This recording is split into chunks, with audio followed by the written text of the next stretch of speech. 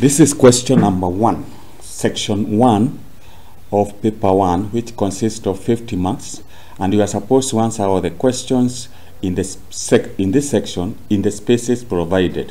Question number one, without using mathematical tables or a calculator, evaluate.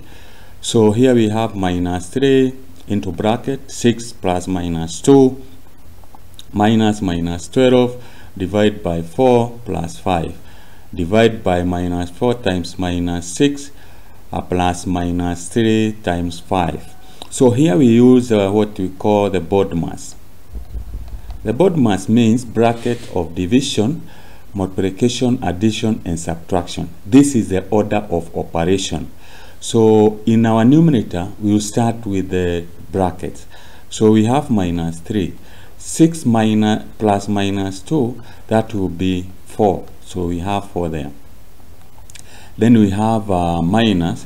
From there we don't have off but we have division. So we are going to div uh, to divide 12 by 4 that will give us 3 and then we have 5 uh, in the denominator we have minus we have uh, we don't have bracket we don't have off we don't have division we have multiplication. So 4 times minus 4 times minus 6 that will give you 24 positive 24 then we have minus 3 times 5 that will be minus 15 so this is equals to minus 3 times 4 that will give us minus 12 this is minus and minus will be positive.